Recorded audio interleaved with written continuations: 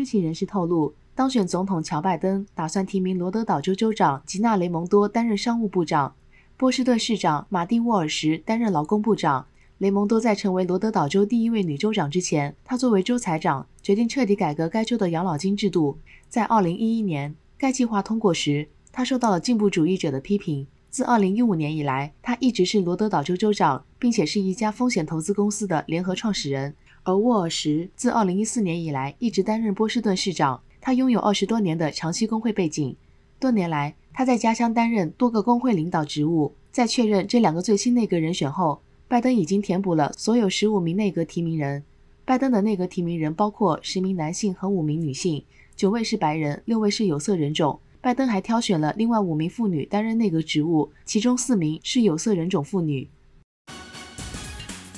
慈善机构喂养美国日前发布的报告显示，二零二零年全美有超过五千万人在温饱线上挣扎，其中包括一千七百万儿童。这导致疫情期间到食品银行领取免费食物的人增加了百分之六十，一些地区甚至面临着供给短缺。北卡罗来纳州布里瓦德市食品银行疫情前每个周末大约分发八十份食物，新年前每小时就有超过一百六十户家庭前去领取食物。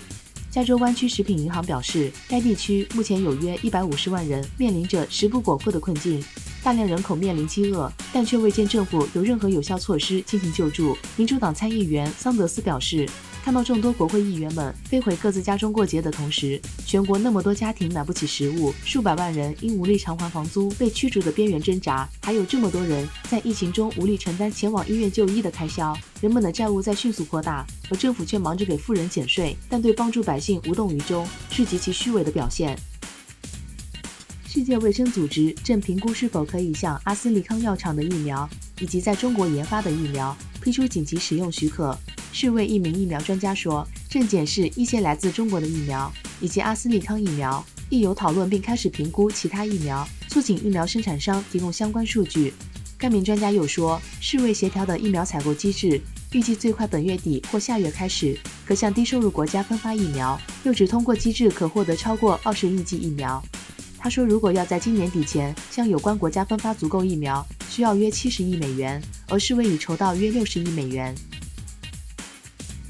法国总理卡斯特克斯与卫生部长维洪召开记者会，说明近日疫情与最新措施。政府表示，法国已出现十九例英国变种毒株病例，另外还有三名南非变种病毒个案。法英边界、娱乐艺文等场所因此将持续关闭，直到一月底止。名单包括博物馆。电影院、剧院、运动中心等，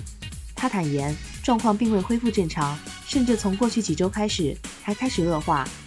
卡斯特克斯接着谈及更具传染力的英国和南非变种毒株。为避免疫情恶化，法国宣布与英国边界将会持续保持关闭，直到有新的命令为止。政府一月二十日将会视疫情决定是否能在二月初重新放行。餐厅与酒吧仍会持续关闭，至少到二月中。卡斯特克斯也重申，受冲击的产业将持续获得政府的经济补助。